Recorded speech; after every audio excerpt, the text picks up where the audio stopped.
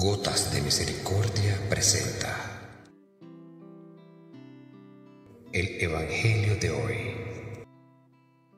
En aquel tiempo, Jesús, tomando la palabra, decía mientras enseñaba en el templo, ¿cómo dicen los escribas que el Cristo es hijo de David? David mismo dijo, movido por el Espíritu Santo, dijo, el Señor a mi Señor siéntate a mi diestra hasta que ponga a tus enemigos debajo de tus pies. El mismo David le llama Señor. ¿Cómo entonces puede ser hijo suyo? La muchedumbre le oía con agrado. Palabra del Señor.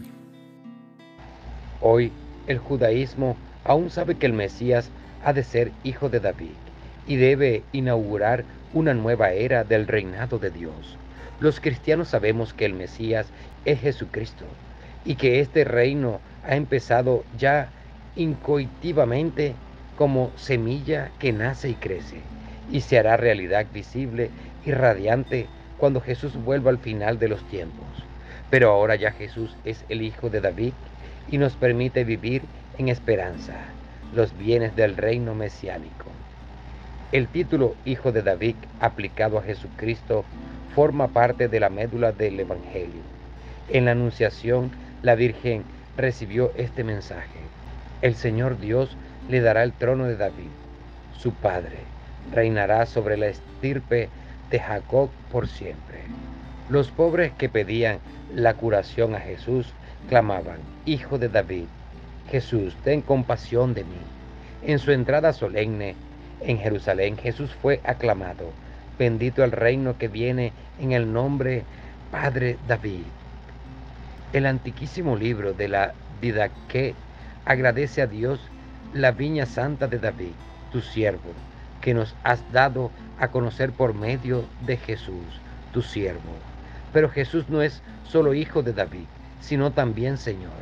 Jesús lo afirma solemnemente al citar el Salmo Davídico 110, cita, incomprensible para los judíos, pues resulta imposible que el Hijo de David sea Señor de su Padre. San Pedro, testigo de la resurrección de Jesús, vio claramente que Jesús había sido constituido Señor de David, porque David murió y fue sepultado y su sepulcro aún se conserva entre nosotros. A este Jesús Dios lo ha resucitado y de ello somos testigos todos nosotros.